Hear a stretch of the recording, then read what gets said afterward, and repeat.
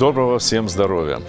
Заболевания желудочно-кишечного тракта знакомы многим. Большинство из них протекают остро и заканчиваются выздоровлением. И хотя органы пищеварения имеют тенденцию к восстановлению, существует ряд заболеваний, которые носят хронический характер. Среди них язвенная болезнь желудка и двенадцатиперстные кишки. Именно об этой проблеме сегодня пойдет речь в нашей программе.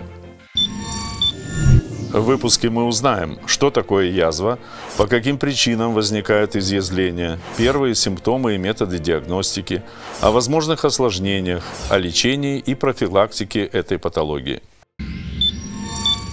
До 20 века язвенная болезнь встречалась крайне редко. Сегодня патология выявлена у 25% всех пациентов гастроэнтерологического отделения стационаров. Точные данные о распространении болезни отсутствуют. Заболеваемость меняется от условий состава населения, особенностей местности и образа жизни. Однако установлена предрасположенность к болезни взрослых мужчин. Пропорция между частотой язвы 12-перстной кишки у мужчин и женщин соотносится как 10 к 1. А разобраться в сложных вопросах этой патологии нам сегодня поможет главный внештатный специалист Министерства здравоохранения Республики Крым по специальности гастроэнтерология, заведующая отделением гастроэнтерологии Республиканской клинической больницы имени Симашко Марина Владимировна Левченко. Добрый день, Марина Владимировна. Здравствуйте. Ну, наверное, основная из патологий, с которыми вы встречаетесь, поэтому, что называется, вам и карты в руки. Что же такое язвенная болезнь? Э, язвенная болезнь – это хроническое воспалительное заболевание желудка, либо же двенадцатиперстной кишки э, с повреждением слизистого, либо подслизистого слоя этих органов с образованием язв. Ну а факторы какие при этом присутствуют и каких можно избежать?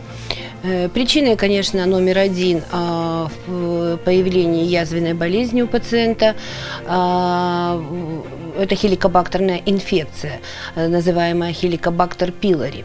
HP позитивная язвенная болезнь бывает, HP негативная. Э, но понимая, что до 80% населения Российской Федерации имеют хеликобактерную инфекцию, мы недоумеваем, а почему же не все болеют, если номер один – это хеликобактер пилори. А оказывается, что для того, чтобы э, образовался дефект слизистого слоя желудка либо двенадцатиперстной кишки, э, необходимы еще другие факторы. А именно, это наследственный фактор. Обязательно надо прослеживать э, бабушек, дедушек, тет, дядь, вспоминать и о себе думать непременно. Это злоупотребление алкоголем, это неправильное питание, это эм, жирная пища, острая пища, которая вызывает, как правило, изжогу у пациентов. В 2005 году за открытие взаимосвязи между язвенной болезнью и хеликобактер пилори ученые Маршалл и Уоррен были удостоены Нобелевской премии по медицине. О том, что это за микроорганизм и как он выявляется, наш следующий материал. Хеликобактер пилори – спиралевидная бактерия, обитающая в привратнике желудка и двенадцатиперстной кишки. Впервые ученые столкнулись с ней в 1875 году, обнаружив микроба слизистой оболочки желудка собаки. Повторное открытие бактерий произошло в 1979 году австралийскими врачами Робином Уорреном и Барри Маршалом. В результате исследований было выдвинуто предположение о взаимосвязи микроорганизма с проявлениями язв, гастритов и рака желудка у человека. До этого основной причиной язвенной болезни не считался стресс и злоупотребление острой пищей. Как передается хеликобактер пилори? А, хеликобактер пилори передается фекально-оральным путем, то есть при использовании общей посуды, э, еда в общепитах, в тесном семейном контакте, при поцелуях в том числе передается. Какие есть способы для определения хеликобактер пилори? А, способы делятся на инвазивные и неинвазивные. Наиболее часто используемым инвазивным методом является это быстрый уразный тест при проведении эзофагогастродуоденоскопии. А, к неинвазивному относят 13 мочевинный дыхательный тест. Какова методика проведения мочевинного дыхательного теста? А, методика мочевинного дыхательного теста заключается в том, что пациент натощак приходит и производится, производится забор выдыхаемого воздуха в определенный контейнер. Как видите, здесь контейнер поделен на э, две части. В одну часть э, пациент выдыхает натощак, затем э, он выпивает воду с растворенным в нем реактивом. Реактив содержит 13С меченую мочевину. А, и через 30 минут пациент выдыхает во второй мешочек. Все это используется, при этом используется загубник. И разность концентрации меченого углерода замеряется при помощи инфракрасного спектрометра. При превышении более 2,5 промилле определяется инфицированность хеликобактер пилори. Марина Владимировна, ну, наверное, сейчас главный вопрос – жалобы. На что жалуются э, пациенты, которые страдают язвенной болезнью? Э, да, большой, в принципе, спектр жалоб э, имеют данные пациенты, но первый, э, первая жалоба – это, конечно, болевой синдром. Это боли. Э, чаще всего они носят сезонный характер, цикличный характер. Это боли в области желудка, э, э, кислая отрыжка, э, изжога э, беспокоит пациентов, тошнота, рвота, э, возможно их возникновение при осложнении язвенной болезни. В свое время Э, в нашем институте, э, когда преподавали гастроэнтерологию, я запомнил на всю жизнь э, симптоматику, которую нам рекомендовали внимательно следить у своих пациентов. Это боли в эпигастрии, ночные и голодные боли. Вы подтверждаете, спустя много лет осталась именно такая информация? Совершенно верно. Ночные голодные боли, купирующиеся приемом пищи.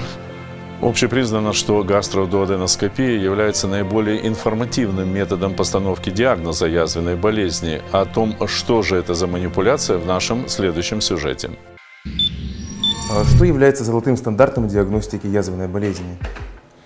А, ну, на сегодня самым современным методом является эндоскопия. Да? Э, эндоскопическая диагностика – это эндоскопия желудка, эндоскопия 12-перстной э, кишки. То есть это э, метод, при котором мы с вами можем четко увидеть, да, благодаря инструментам, увидеть на экране язвенный дефект, оценить его глубину, оценить э, его опасность. Мало того, мы можем произвести биопсию. Помощью чего выполняется эта манипуляция? Э, манипуляция выполняется с помощью гибких эндоскопов. Да, сейчас это современное оборудование, да, которое имеет возможность э, э, хорошего разрешения да, для визуализации сам, самих дефектов и патологии в органах желудочно-кишечного тракта. Перед вами э, компьютерные роботы-симуляторы эндоскопической диагностики. Э, они полностью имитируют живого пациента. В руках у нас эндоскоп, Э, с помощью которого производятся исследования. Значит, э, он содержит, вы видите, э, гибкий элемент, да, то есть здесь есть световод, здесь есть оптический элемент, который помогает нам дальше передавать изображение на экран. Подключается э, гастроскоп да, для того, чтобы мы смогли выполнить эту манипуляцию. Дальше э, гастроскоп вводится в ротовую полость пациента, э, и мы с вами входим в сначала ротовую полость, да, вот здесь вот видите, уволю язычок, вот, и дальше мы с вами продвигаемся по ротовой полости. Вот вы видите голосовые связки. Да? Дальше мы проходим пищевод и э, э, проходим и попадаем в желудок. Вот мы видим складки уже желудка. Да, и здесь у нас выполняется э, диагностика, э, осмотр стенок желудка для выявления язвенных дефектов. Как необходимо пациенту подготовиться к этой манипуляции? А, пациент обычно готовится, э, специально готовится к этой манипуляции. Необходимо выпить э, раствор, который очищает желудок. Для того, чтобы пациенту было легче перенести эту процедуру, э, есть две методики, которые применяются. То есть это или местная обработка лидокаином, ну, анестетиком, или второй вариант – это выполнение манипуляции под наркозом. Марина Владимировна, осложнение язвенной болезни – это что? Это, конечно, запущенные пациенты, которые либо себе немного внимания уделяют, не прислушиваются к себе, либо же э, это пациенты, к сожалению, есть такой процент больных, э, когда язва немая, так называемая, бессимптомная. К чему такая язва может привести? Э, естественно, к пенетрации. Э, кровотечению желудочно-кишечному, перфоративному изменению слизистых желудка в, допустим, э, поджелудочную железу. Это стеноз э, привратника, либо же двенадцатиперстной кишки. И, конечно, самое грозное, как мы считаем, из осложнений, это малигнизация. Это язвы, часто локализующиеся в желудке, не в двенадцатиперстной кишке, то есть эти перерождение пациенты... в онкологическое заболевание. Совершенно да? верно, да, да. И, ну и если, если э, вот интересует, что для пациентов было понятно, когда какое осложнение э, можно ожидать и как действовать в, этой, в этом случае, то вот давайте так вот будем характеризовать. Если это пенетрация, значит это будет кинжальная острая боль. Вызываем скорую. Если это кровотечение, как кровотечение, первые признаки кровотечения можно заподозрить родственникам или самому больному. Это внезапно возникшая резкая слабость, это падение артериального давления, это потливость, возникновение рвоты кровью, либо же поносы, черный стул Милена.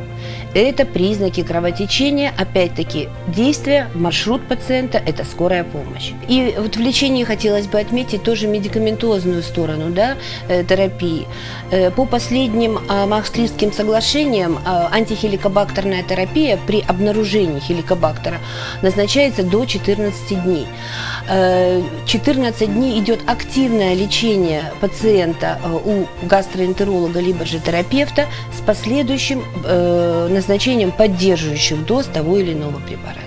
Марина Владимировна, спасибо вам большое за убедительные сегодня ответы на наши вопросы. И очень бы хотелось, чтобы наши телезрители внимательно изучили и пользовались вот именно этой проверенной информацией в плане профилактики и, конечно, недопущения осложнений язвенной болезни. Спасибо вам большое, всего доброго. Спасибо, будьте здоровы. Друзья, я надеюсь, что советы, которые сегодня прозвучали в нашей программе, окажутся очень кстати для вас, и вы по-другому будете относиться к своему гастроэнтерологическому здоровью. Ну а если остаются еще вопросы, мы с удовольствием на них ответим. Пожалуйста, в адрес нашей редакции их направляйте или звоните по телефону, который указан на ваших экранах. Всего вам самого доброго. И, пожалуйста, будьте здоровы!